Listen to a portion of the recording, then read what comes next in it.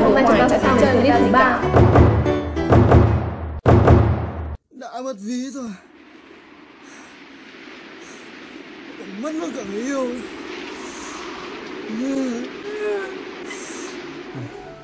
Về Việt Nam mất iPhone 5 sang bên này lại mất ví lại mất luôn cả người yêu nữa. Đúng không mày nó sai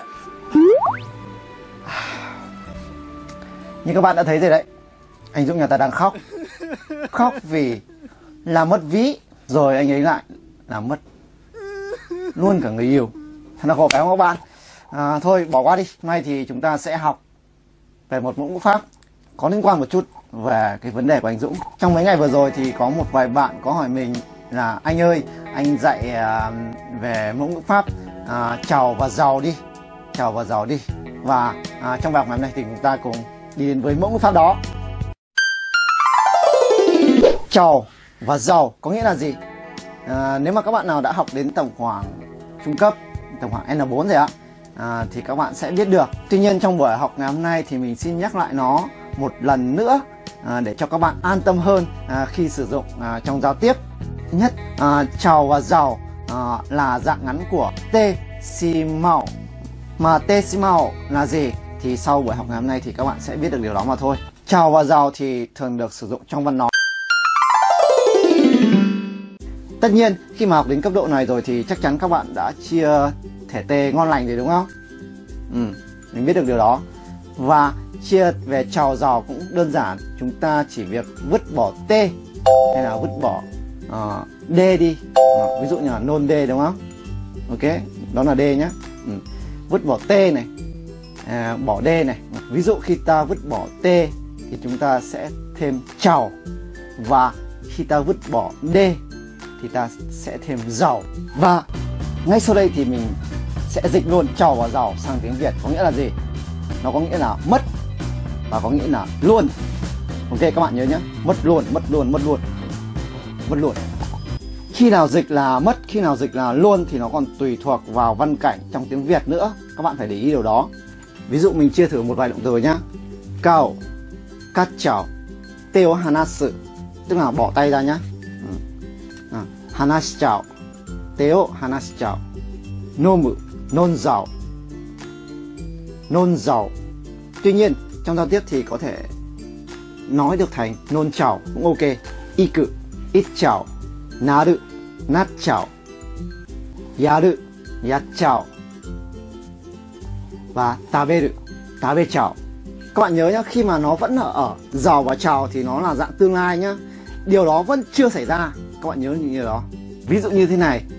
Anh anh ơi em uống luôn cái này nhá. Oni san oni san kore non chao yo. Oni oni san oni san kore tabe chao yo. Tức là em ăn luôn cái này nhá. Tên chỗ ơi. À, ta làm luôn cái này nhá. Tên chỗ, kore ya chao yo ok? Nó là thể tương lai. Và ví dụ động từ ờ, nakunaru chẳng hạn.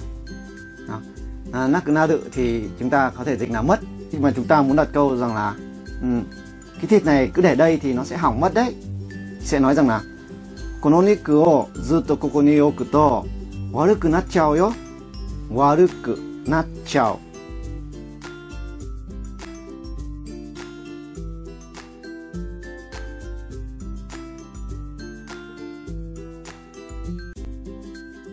và khi mà chia sang thể t đúng không?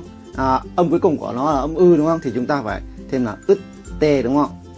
Ứt t rất là đơn giản sẽ là chắt tê hay là giật tê.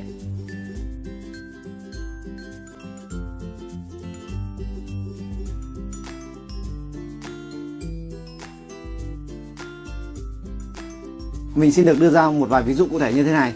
À, ví dụ tên cho nói à, やっちゃっていいよ。ってか、まいらんのんけないり、ほンサーロ。はいな、あんのんけないりない。これ、食べちゃって。これ、食べちゃって。はいな、お前、理論でこれ。お前、理論でいるこれ。お、いっちゃっていいよ。お前、いっちゃっていいよ。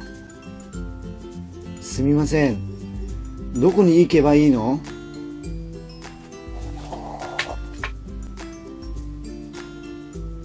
どこへ行くのかな天国かな tên Goku ni chào tên Goku tên Goku cuối cùng khi mà chia nó về dạng quá khứ là chát tạ đúng không ừ, thì sẽ dịch là mất sẽ rất là hợp lý ví dụ ăn mất rồi làm mất rồi uống mất rồi hay là đi mất rồi đúng không ừ. tabechatta nonzatta yachatta ichatta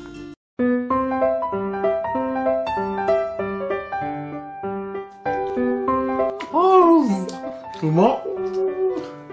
美味しそう。早く食べないと食べちゃうよ。分かった分かった。えー、久しぶり。お前！ごめん。食べちゃった。うん。あー手が滑っちゃったよ。いやいや手が滑っちゃった。そうそうそう。ごめん。ごめんね触っちゃったあ触っちゃった何してるの本当にもうあ触っちゃった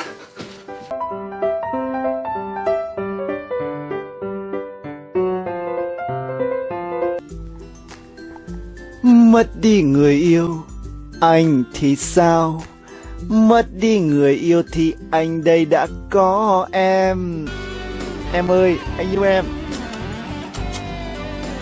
Ơ thằng kia. Hoa không sáu của thằng kia. Trông của nó từ khi nào ấy? Các bạn thấy cách dịch của mình như thế nào? Nếu mà thấy hay thì hãy ấn like và comment dưới clip này nhé bye bye và hẹn gặp lại.